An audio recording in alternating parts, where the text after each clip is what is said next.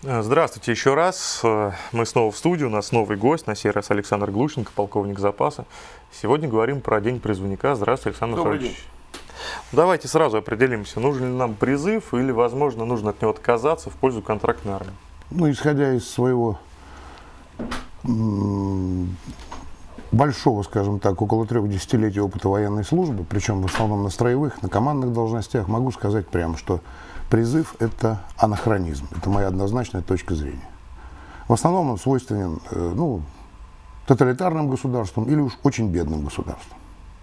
Ну, Нам вот это эта не фраза- должно быть свойственно. А вот эта фраза «не служил ни мужик», вот она что для вас значит?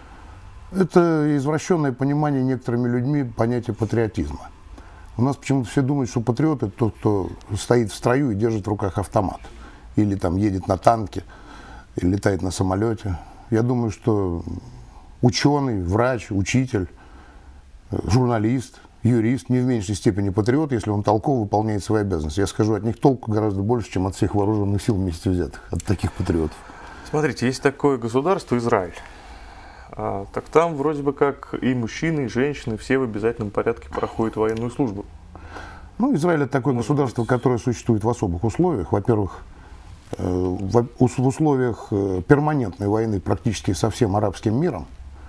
А во-вторых, я не могу назвать э, Израиль государством в полной мере демократическим.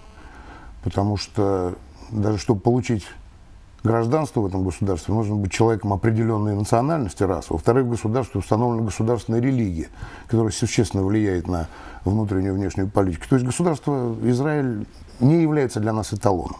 Мы все-таки, я полагаю, большинство из э, здравомыслящих людей считают, что Россия должна иметь европейский путь развития. Кстати, про здравомыслящих людей. Наши корреспонденты прошли по городу и поспрашивали, а нужно ли служить и зачем это нужно. Давайте посмотрим. Давайте.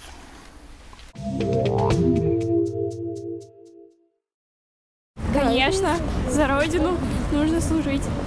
Как считаете, молодые люди должны служить в армии? В любом случае должны. А для чего?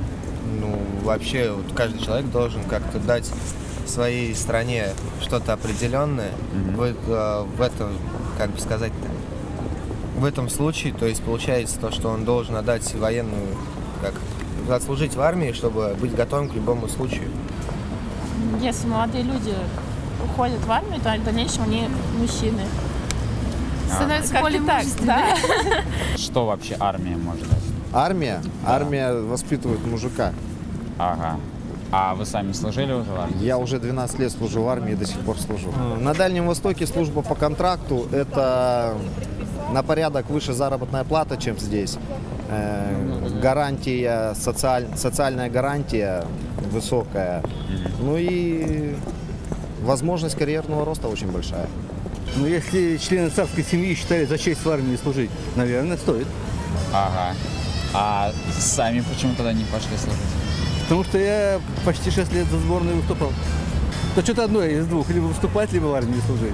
Ну, я служил как раз, когда была самая с 82 по 84, Ага. когда была самая задача, ну ничего, само не случилось.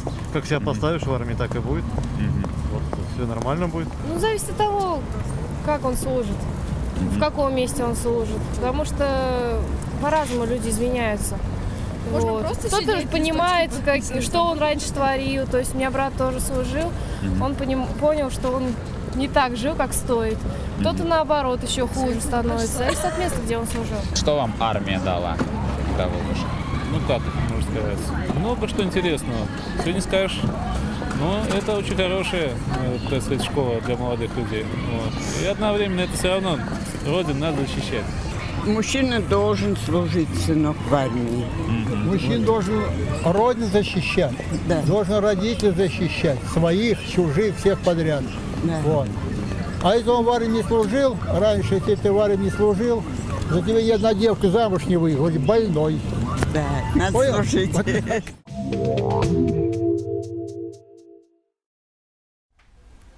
Ну что, еще раз, пожалуй, задам вопрос. Так нужно служить в армии?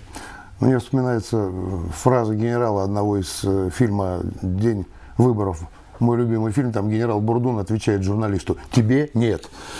Э, Ну а если серьезно, то можно сказать, что положение о призыве и вообще призывная армия, это в определенной степени нарушение Конституции нашей страны. Давайте возьмем за аксиому, что военная служба является трудом, работой. И, кстати, работой очень тяжелой, достаточно напряженной, требующей серьезных физических, моральных там, э, затрат, психических и так далее. Если это работа, давайте обратимся к статье 37 Конституции. Там написано, что труд в нашей стране свободен. И каждый человек э, должен выбирать свою профессию в соответствии со своими там, склонностями, там, характером и так далее. Я сейчас не буду полностью цитировать эту статью.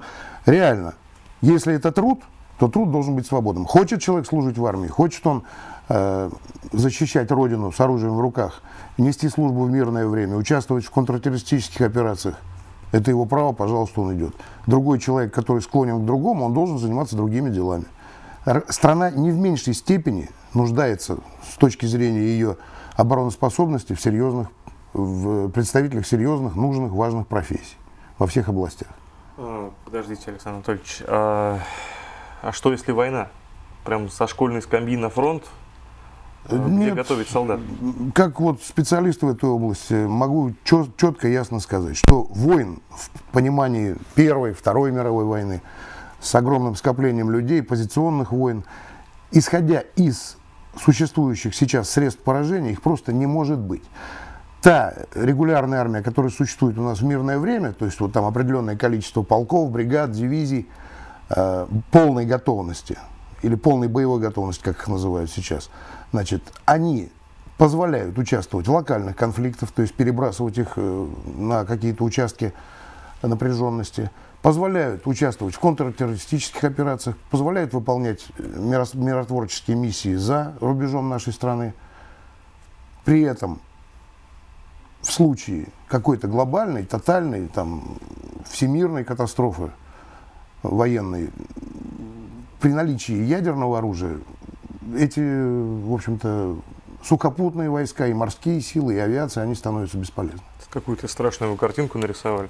Ну, эта картинка, она написана в государственной военной доктрине, и там ясно, четко говорится, что ядерное сдерживание является одной из форм противодействия вероятному противнику.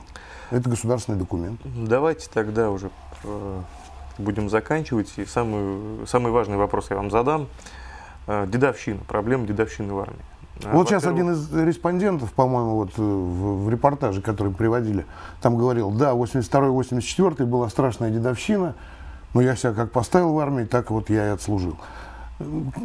Дедовщина, вот я служил начиная с 81 -го года, то есть это дремучий застой, скажем так. И все изменения в, в этом вопросе на моих глазах происходили.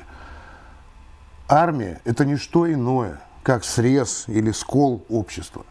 То, чему то, как человека воспитали на гражданке, с тем он и приходит в армию. Это не значит, что его призвали в армию, а там офицеры, прапорщики и сержанты научили его пить водку, э, употреблять наркотики и бить морды своим служивцам. Вот он с какой психологической закваской пришел, э, с каким воспитанием он пришел, так он себя там и ведет. Но там нет этих нянечек, там еще кого-то. Сложная ситуация. Люди с харизматичным типом поведения и гопнической психологией, как правило, пытаются самоутвердиться. Вот это результат. Плюс к этому возьмите ситуацию с призывом. Мы отсекаем от призыва студентов высших учебных заведений. С недавнего времени еще студентов среднеспециальных учебных заведений. Э, ряд других категорий, там, например, спортсменов профессиональных, священников профессиональных. Кандидат наук и так далее. Да, те, кто занимается наукой после окончания вуза.